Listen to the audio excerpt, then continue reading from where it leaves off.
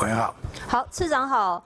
我想今天想要跟您呃询问一个最新的状况哦。您看到投影片的部分，这是我们今天在十一点的时候接到我们的高饼业者还有物流业者来的讯息。他说呢，台湾这个两岸物流的业者通知我们的高饼业说，今天接到海关大陆海关了哈，大陆海关的通知说，这个星期开始呢，凤梨制品像是凤梨酥，只要成分有含凤梨的，一概都不收。那我们也确实去跟物流业者询问，他说现在目前是。大陆的海关口头先做了通知，但是呢，现在还没有全部的一些正式的通知。我想先请教一下次长，有没有掌握到这个消息啊？最新的？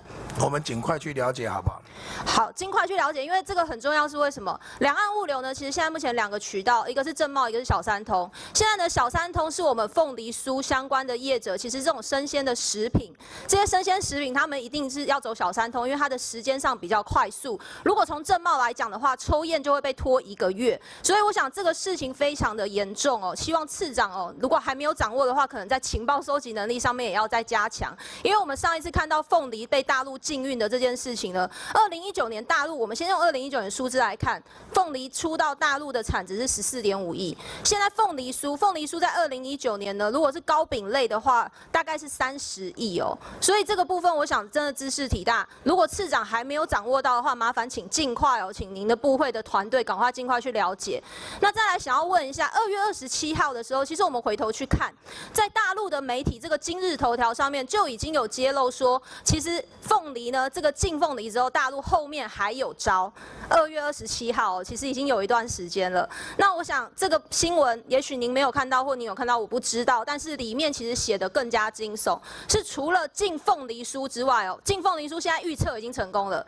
现在除了禁凤梨酥之外，他们说下一步有可能会禁止包含台湾的。香肠，还有其他含有猪肉跟猪油的食品。那我想次长应该也了解，想先请教一下这个部分，您掌握会影响到台湾多少糕饼业者跟猪肉业者？您影响到会多大的一个层面？我想说，呃，中国大陆针对这个贸易有一些不正常的贸易手段的做法，那当然政府。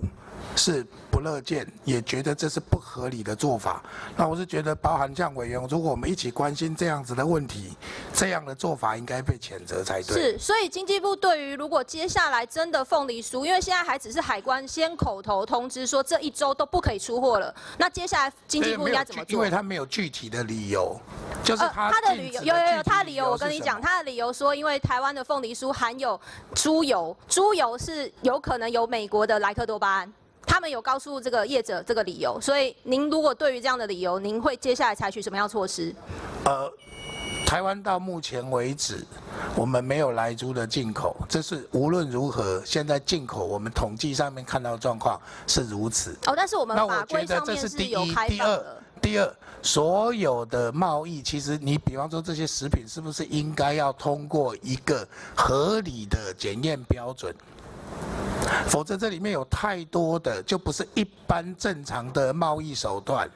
我觉得这个对两岸的关系并不是一件好事。好，所以现在如果说大陆已经开始在做这样的事情，我希望吼，因为这个其实二月二十七号就已经在预告了。我想真的是需要经济部，真的我们需要在这个方面再多一些情报线，你至少知道一下现在发生什么事情，而不是今天他们这样很紧张的来问我们，然后哎，怎么好像经济部是完全一无所知？我想这个是希望经济部赶快哦，现在赶快动起来，先来了解一下这个讯息到底是怎么一回。事，因为这个我们也查证过，他们看起来真的在小三通的部分，现在是在某些关口是已经不收凤梨酥了。好，我我这个部分我当然会请我们同仁紧速了解跟掌握状况。好，谢谢市长，哦麻烦一下，我们真的是在台湾已经在这个地方已经在凤梨遇到一些阻碍了。那我们台湾人已经吃了很多凤梨酥了，现在呃凤梨了，那现在难道又要发起吃凤梨酥运动吗？我想这应该是没有办法，有每个都只有一个位，然后所以拜托经济部赶快来种起来，谢谢。好，谢谢主席。好，谢谢。